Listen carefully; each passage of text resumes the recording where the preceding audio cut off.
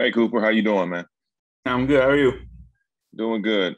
Uh, obviously, it's been a uh, week number two. What have been your, your overall thoughts as far as just being out there with the guys and, and kind of just building some of that chemistry uh, as you guys move towards these camps? Yeah, I mean, just invaluable reps, really. Um, obviously, as a offense, having a new signal caller, having a new guy out there, just being able to see the field with him, kind of trying to understand the things that he's seeing and uh, you know how he's how he's analyzing things on, on the go, and um, everyone has a different nuance in terms of how you want to you know play certain concepts, the throws that you you lean on, the throws you want to make, things you want to see. Um, and how you want to dictate certain things. So just being able to have great conversations too, and just being able to see the uh, see the field through through his lens and um, understand what Matthew wants us to do at, at receiver and how he wants us to run our routes and uh, the holes he wants us to find. And I think just really just being able to be back out there with the guys is just so much fun. Um, there's nothing, there's nothing like playing football with your with your buddies. So it's been a been a really fun couple weeks. You talk about communication, what uh, you and Robert obviously being the elder statesman uh, at that position, but you have a, a, new wide receiver in, in DeSean Jackson and what his resume has brought to the table, and you have also the rookies as well, like Tutu Atwell, uh, obviously Van Jefferson coming back. So what what how do you all get on the same page um, and how do you bring the the others up to speed to where you all are, so you guys can be on one accord? Yeah, well, you know, DeSean's been in this offense before, um, and say uh, we're the elder statesman, you know, I think he he owns that he owns that that title. So I can't take the elder statesman from from Djax. I think I was in like eighth grade when he first got in the league. So uh, he's still faster than I am. So I, like I'm not trying to talk crap or anything. He's so much faster than I am. So he's still still got the wheels. Uh, but uh, you know, he, has been his offense before. He's, you know, some of this terminology, the carryover, the understanding of, um, you know, his time with with Sean too in Washington. Um, you know, some of that stuff's carrying over. So he's he's able to pick that stuff up really, really you know, pretty quickly. Um, and then Tutu's just coming along just know, all the rookie guys uh, asking a lot of questions, just kind of um, as guys that have been in this offense for a while, just providing answers, providing you know perspective that maybe a coach doesn't know because they haven't done the reps and seen just the little nuances of how you do things, but um, just trying to provide kind of little tips here and there, um, help those guys out, and um, you know, it's really just great conversations. I mean, I'm playing playing with each other, but then also understanding the time between reps and just communicating how we're seeing the field. Um, it's going to be a really fun, really fun season. We got we got a great group of guys. Thanks, Cooper. Yes, sir. Lindsay. Hey, Cooper. Have you uh, mentioned to DeSean that you were in the eighth grade when he started in the NFL? I think I I think I did. I, I, had to go back. I can't remember if I told him exactly it was eighth grade. Um, I had to go back and look it up. I think he was in his 14th year right now. Um, that puts it what, whatever that is, going into 14. It's uh, anyway, 17. I quit math in the eighth grade, so I'm not sure. 2007, I believe. So um, yeah, so I was. I think I was like seventh or eighth grade when he came into the league. So um, I don't think I've. I don't think he knows. I don't think he really understands like know, like I was a child when you were playing football, NFL football. So um, yeah, it's pretty pretty funny. Uh, this receivers group seems um, as deep as it has really since you've been here. Um, that's not meant as any disrespect to anybody else, but uh, you know when you look at kind of that third position, and now you've got three guys who could very well step into that role. What's it like um, having such a deep receivers room going into the season? Yeah, it's it's really it's a. I mean, I guess in some ways it's a luxury. You've got guys that, um, you know, you got such a deep um, group of guys that, and really the next best thing about it is that guys aren't just locked in on, you know, one position. You guys want to learn the entire offense. So you really feel like you've got five guys that can play every position that you ask them to. So to move guys in and out, um, being run concepts for you know, full groups, no matter what the formation, however, however you want formation, you have DeSean on the inside, me on the inside, Rob on the inside, Tutu on the inside, Van on the inside. You're just not knowing where guys are going to end up at.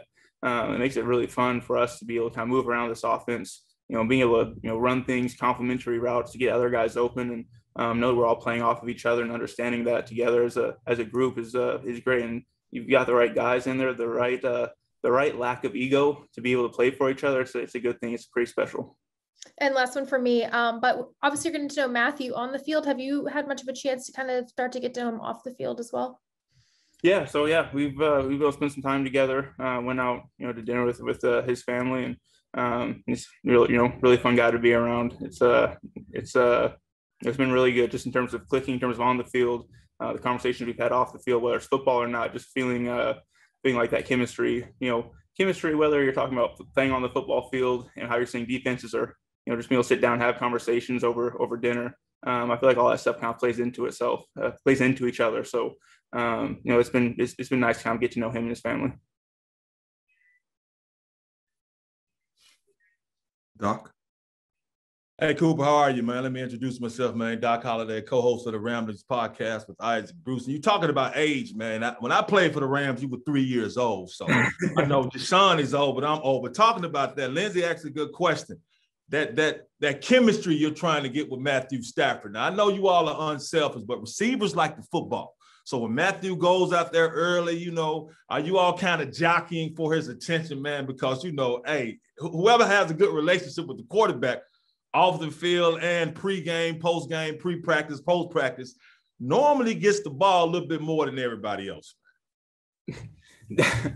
no, there's there's no there's no like jockeying for attention. Okay. That, that, must been, that, must have been something that was done back in 96, 95. You know, that wasn't that's not and we're not we're not about that here now. So um, you know, we're we're we're about winning games and whatever it's gonna take to win games, that's kind of that's what we're about.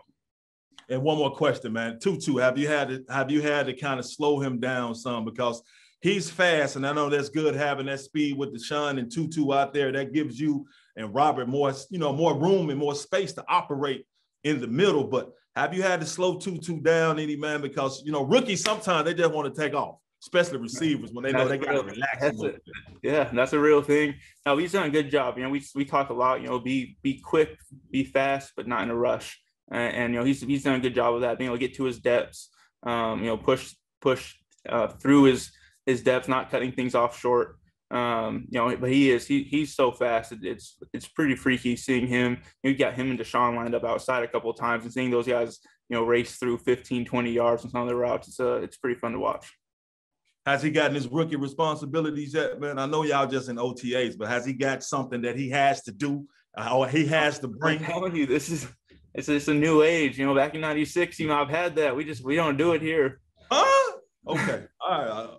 Okay, man. Say no the more. Rookies, the rookies rookies are living good here. Oh wow. Okay. All right. All right. Cool. Thanks, man. Nice to meet you, man. Yes, sir. You too. Jordan. Hey, Coop, man. How you doing? I'm good. Good to see you. Good to see you too. Um, so in, in an offense that's so predicated on timing uh, between quarterback, you know, his his drop back, hitches, the steps in your own routes. How do you establish that outside of reps? Because I know that's the most important thing, but in terms of communication and tape, what kinds of things do you really hone in on for those details and getting those um, in place? I think a lot of that really is, you know, within a drop, a quarterback has a lot of tools, you know, in terms of his eyes, you know, his shoulders, where he's trying to move guys. And I think that's the big thing is understanding on, on plays, you know, you might have two windows and you, you you got the tight first window or you can hang on the second window and you know having the conversation well hey would you rather hold this hook player away and try to sit, zip this into this first window or are you thinking more you're going to take him to me and hit this thing behind him? Um, so kind of understanding like just things like that. But when am i really trying to get my eyes around when can i anticipate these the ball to get out versus certain looks and understanding how he's manipulating coverages and what he feels comfortable with and uh, even within his drops you know just kind of seeing the, the nuance of using his eyes and shoulders to move guys and anticipate throws um, you know that, that helps us out at receiver because now we're you know we're really being able to anticipate when that ball is coming and also get into those windows or, or tempo through windows that you know that he's really trying to get to. So um, having those conversations in just terms of how he's manipulating coverage how he's seeing things what he's comfortable with and what kind of throws he prefers to make um, that's kind of something that we kind of focus on when we're talking uh, you're talking those things through are there sometimes like compromises? And i know that word has like a maybe a negative connotation at times but because you you've been used to one one series of timing and one type of way to run things especially when you're really getting granular into it but then maybe he's got a new idea that he brings to the table. So what, what's that compromise like? And i wonder if there's anything that maybe you've tweaked to hmm.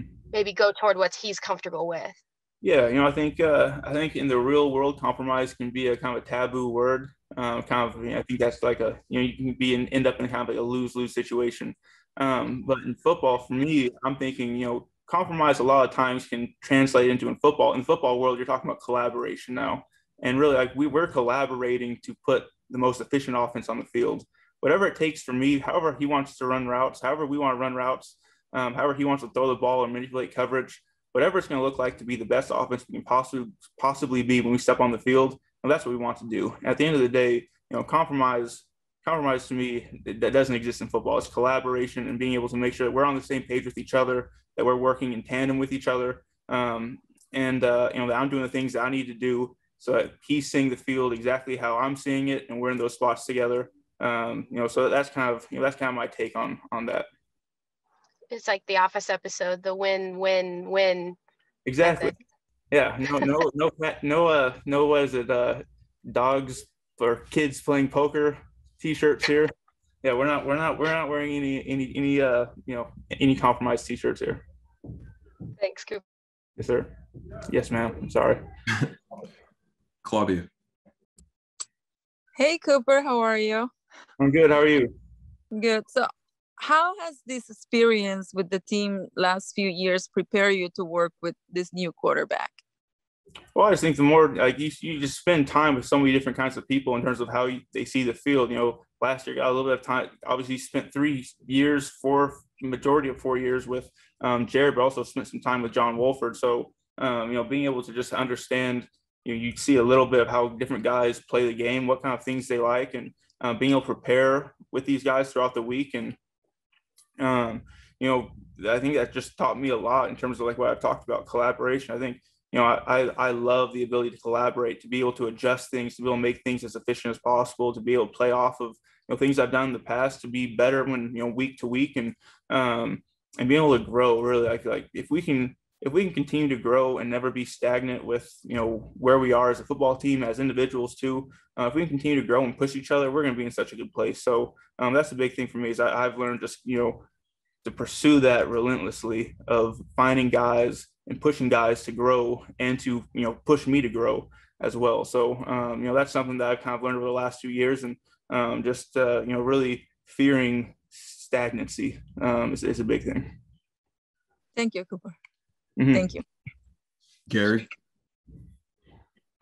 Uh, hey, Cooper. Um, first of all, how is your knee? And given that the season is getting long, has gotten longer now, um, have, have you guys, have you, Reggie, or have you, have you guys worked toward a program that maybe can help you manage that situation through a longer season?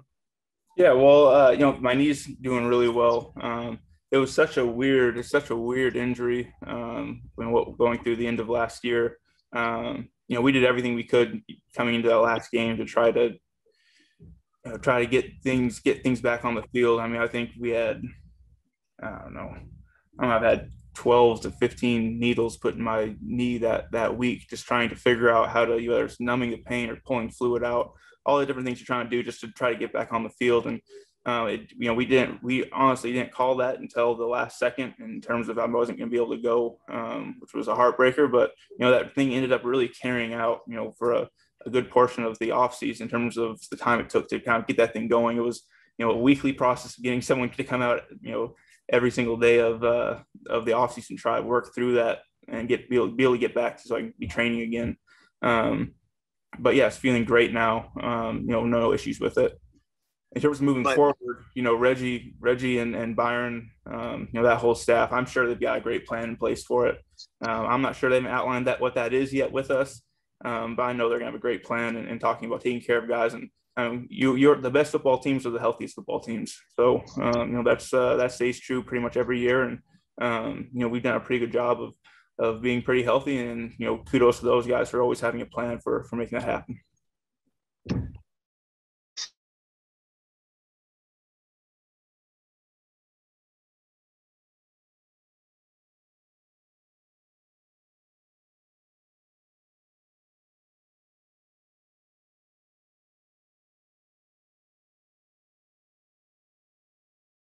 Need to do to kind of not let that uh, obstruct actually getting there?